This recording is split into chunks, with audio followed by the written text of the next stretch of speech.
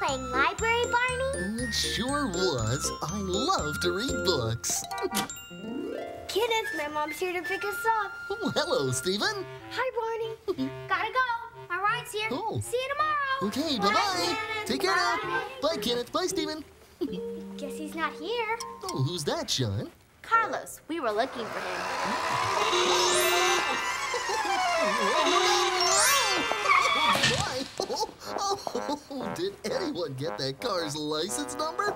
I'm the driver, Barney. I didn't mean for the car to go so close to everyone. Oh. I'll be more careful next time. Oh, that's okay, Carlos. But you're right. It's important to be careful when we drive. And safe, too. Like when we buckle up our seatbelts. When we grow up, we're all going to be careful and safe drivers.